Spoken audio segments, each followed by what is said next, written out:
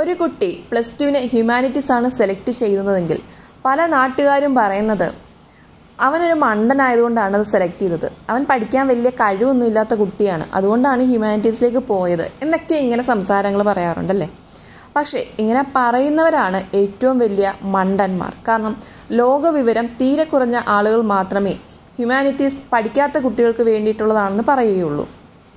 ലോകത്തിലെ ഏറ്റവും വലിയ ജോലി അല്ലെങ്കിൽ ഏറ്റവും ബഹുമതിയുള്ള ജോലി ഒരിക്കലും ഡോക്ടറോ എൻജിനീയറോ ഒന്നും അല്ല. അതിനപ്പുറം ഉയരങ്ങളിലെത്തുന്ന ജോലികളുണ്ട്. പ്രധാനമായിട്ടും നമ്മുടെ ഡിഫൻസിൽ ആഭ്യന്തര കാര്യങ്ങളിൽ അതേപോലെ ഒരു കളക്ടർ ആവുക ഐ പി എസ് ഓഫീസർ ആവുക നമ്മുടെ സമൂഹത്തെ സേവിക്കാൻ കഴിയുന്ന ചില ജോലികളുണ്ട്.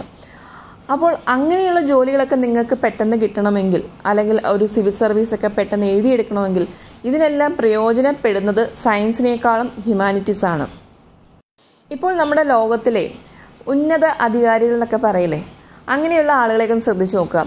ഈ അംബാസഡർമാർ അങ്ങനെയുള്ള ആൾക്കാരെ ഒന്ന് ശ്രദ്ധിച്ചു നോക്കുക. അവരൊന്നും സയൻസ് വിഷയം എടുത്തിട്ട് ഡോക്ടറോ നേഴ്സോ അല്ലെങ്കിൽ എഞ്ചിനീയറോ ഒന്നും അല്ലായിരിക്കും. അവരെല്ലാം മിക്കവാറും B A English literature B A history ഇങ്ങനെയൊക്കെയുള്ള കോഴ്സുകൾ ചെയ്തിട്ട് അതിൽ പി ജി നല്ല നല്ല യൂണിവേഴ്സിറ്റികളിൽ പോയി പി ജി ചെയ്യുക പിന്നീട് വിദേശത്ത് പോയി പഠിക്കുക. അതിനുശേഷമാണ് അവരിങ്ങനെയുള്ള കാര്യങ്ങളിലേക്ക് കടന്നു വരുന്നത്. അതുകൊണ്ടാണ് പറഞ്ഞത് ഹ്യൂമാനിറ്റീസ് പഠിക്കുന്ന കുട്ടികൾ പഠിക്കാൻ കഴിവില്ലാത്തവർ ആണ് എന്ന് പറയുന്ന ആളുകളാണ് മണ്ടന്മാർ. പത്താം ക്ലാസ്സിൽ ഫുൾ എ പ്ലസ് വാങ്ങിയിട്ടും സയൻസിന് പോവാതെ ഹ്യൂമാനിറ്റീസ് എടുക്കുന്ന ഒരുപാട് കുട്ടികൾ നമുക്കിടയിലുണ്ട്. ഈ ഒരു കോഴ്സിന്റെ പ്രത്യേകത ഇതിൽ നമ്മൾ പഠിക്കാത്ത കാര്യങ്ങളൊന്നുമില്ല. ഒരുപാട് ഓപ്ഷൻസ് നിങ്ങൾക്കുണ്ട്. Geography philosophy history statistics English literature ഇങ്ങനെ ഒരുപാട് കോഴ്സസ് ഉണ്ട്. അപ്പോൾ അത് നിങ്ങൾക്ക് ഇഷ്ടമുള്ള കോഴ്സുകളൊക്കെ സെലക്ട് ചെയ്ത് പഠിക്കാൻ കഴിയും. നിങ്ങളുടെ അഭിരുചിക്ക് അനുസരിച്ചിട്ടുള്ള കോഴ്സുകൾ സെലക്ട് ചെയ്യാം. കുറച്ചും കൂടെ ക്രിയാത്മകമായിട്ട് ജോലി ചെയ്യണം എന്നൊക്കെ ആഗ്രഹമുള്ള ആളുകളാണെങ്കിൽ ഇപ്പോൾ ജേർണലിസം ജേർണലിസം എന്ന് പറഞ്ഞു കഴിഞ്ഞാൽ ജസ്റ്റ് നമ്മൾ പത്രക്കാർ അല്ലെങ്കിൽ ന്യൂസ് റിപ്പോർട്ടർ ആ രീതിയിലല്ല കാണേണ്ടത്. അവർ സത്യം പറഞ്ഞാൽ സമൂഹത്തിന് നല്ല കാര്യങ്ങൾ സമൂഹത്തിലെ സംഭവങ്ങൾ എല്ലാം നമ്മളുടെ മുമ്പിലേക്ക് എത്തിക്കുകയാണ് ചെയ്യുന്നത്. വളരെ ക്രിയാത്മകമായിട്ടുള്ളൊരു ജോലിയാണ് ജേർണലിസം. അതുപോലെ പല ജോലികളുണ്ട്. സോഷ്യൽ വർക്കറുണ്ട് റിസർച്ച് ഫീൽഡിൽ തന്നെ ഹ്യൂമാനിറ്റീസ് സയൻസുകാർക്കൊന്നുമല്ല ഹ്യൂമാനിറ്റീസ് കഴിഞ്ഞ ഒരുപാട് പേർക്ക് റിസർച്ച് ഫീൽഡിൽ വേക്കൻസികളുണ്ട് അതേപോലെ ടീച്ചിങ് ഉണ്ട്. സ്കൂൾ കോളേജുകളിൽ അധ്യാപകരായിട്ട് കയറാം പിന്നെ പറഞ്ഞതുപോലെ സിവിൽ സർവീസ് അങ്ങനെ ഒരുപാട് ജോലി സാധ്യതകളാണ് ഹ്യൂമാനിറ്റീസ് കഴിഞ്ഞിട്ട് നിങ്ങൾ ഡിഗ്രിയും പി ഒക്കെ ചെയ്യുമ്പോൾ കിട്ടുന്നത്. Tata institute of social science എന്നൊരു സ്ഥാപനമുണ്ട്. അതിൽ കൂടുതലും ബി എ സോഷ്യൽ സയൻസ് പോലെയുള്ള കോഴ്സുകളാണ് പഠിപ്പിക്കുന്നത്. അവിടെയൊക്കെ നമ്മളിങ്ങനെ ബി എ സോഷ്യൽ സയൻസ് ഒക്കെ പഠിച്ചിട്ട് ഇറങ്ങിക്കഴിഞ്ഞാൽ പെട്ടെന്നാണ് നമുക്ക് പ്ലേസ്മെന്റ് കിട്ടുന്നത്.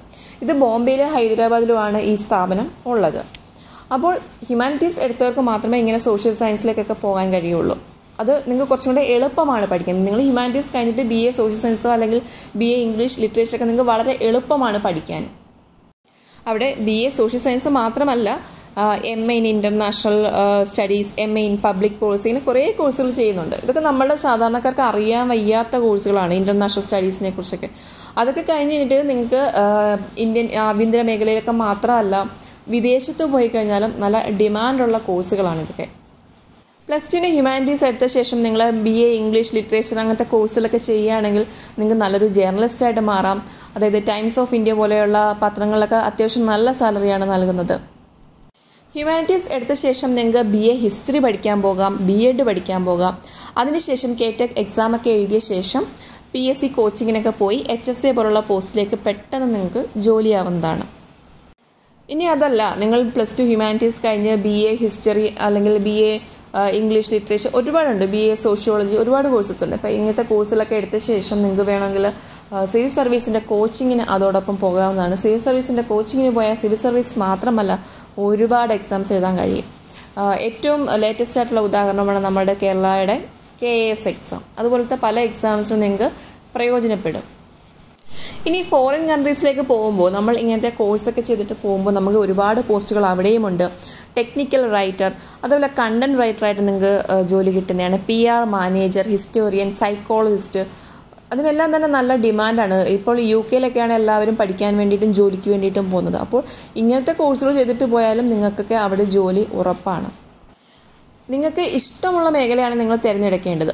അതായത് എല്ലാവരും പറയുന്നു നിങ്ങൾക്ക് സയൻസ് പഠിച്ചാൽ മതി. അതാണ് ഡിമാൻഡ് പക്ഷേ നിങ്ങൾക്ക് ബയോളജി ഒന്നും ഒട്ടും ഇഷ്ടമല്ല കെമിസ്ട്രിയും ഫിസിക്സും ഒന്നും നിങ്ങൾക്ക് ഒട്ടും മനസ്സിലാവാത്ത സബ്ജക്റ്റാണ് എന്നിട്ട് നിങ്ങൾ സയൻസിന് പോയി ജോയിൻ ചെയ്ത് കഴിഞ്ഞാൽ പിന്നെ അങ്ങോട്ടുള്ള പഠനമൊക്കെ നിങ്ങൾക്ക് നല്ല മടിയായിരിക്കും. നിങ്ങൾക്ക് ഇൻട്രസ്റ്റ് ഇല്ലാത്ത സബ്ജക്റ്റാണ് നിങ്ങൾ പഠിച്ചുകൊണ്ടിരിക്കുന്നത്. അതേസമയം നിങ്ങൾക്ക് സാഹിത്യം ഇഷ്ടമാണ് അല്ലെങ്കിൽ ഹിസ്റ്ററി ഇഷ്ടമാണ് സോഷ്യോളജി ഇഷ്ടമാണ്. ഉറപ്പായിട്ട് ഹ്യൂമാനിറ്റീസ് തന്നെ എടുക്കുക.